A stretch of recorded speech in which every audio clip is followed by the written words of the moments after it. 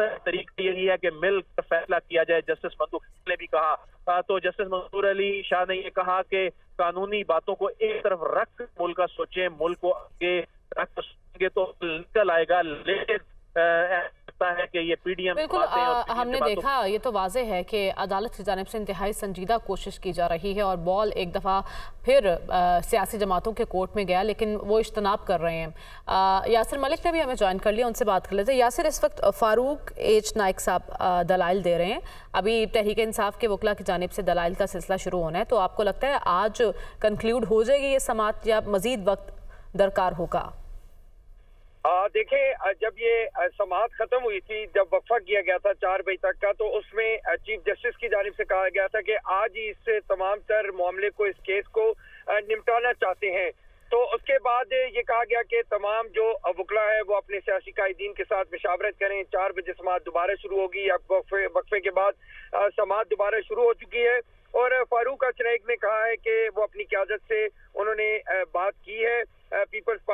मौकफ है कि इलेक्शन की तारीख देना सियासी जमातों का काम नहीं है। और वकील नून लीग जो है, उनकी जानब से कहा गया है कि ताजियों के दरमियान मशावरत हुई है। मशावरत के लिए मजीद जो वक्त है वो इनको दरकार है। मुनासिब होगा, अदालत इस केस को आगे बढ़ाए। फारूक एचनाइक ने यह भी कहा कि सदर ने इलेक्शन की तारीख वज़ीर आज़म की एडवाइस के बगैर दी है। बगैर एडवाइस इलेक्शन की तारीख देना खिलाफ आइन है। सदर ने इलेक्शन कमीशन से भी मशावरत नहीं की। इस वक्त जो है वो जस्टिस मुनीब ने फिर ये कहा कि असम्बली मुद्दत पूरी करे तो सदर को एडवाइस कौन करेगा? असम्बली मुद्दत पूरी करे तो दो माह में इलेक्शन लाजमी है। जस्टिस मुनीब ने कहा कि एडवाइस तो सदर चौदह दिन बाद वापस भी भिजवा सकता है। जस्टिस मुनीब की जानब से ये रिमार्क्स भी सामने आए, जो इंतहाई अहमियत के हामिल है। समरी वापस भिजवाने की सूरत में पच्चीस दिन तो जाया हो गए। और वज़ीर आज़म को एतमाद के वोट का कहना सदर की सवाबदीद है। सदर को एतमाद के वोट का कहने के लिए असम्बली की ज़रूरत नहीं है। इसके साथ साथ अब भी ये जो इस वक्त समात है वो जारी है। और जस्टिस मुनीब अख्तर ने कहा कि असम्बली अगर मुद्दत पूरी करे तो सदर की जानब से जो है वो एडवाइस जो है वो भिजवाई जा सकती है। तो हम्म। ये इस वक्त भी समाज जारी है और रिमार्क का सिलसिला जारी है।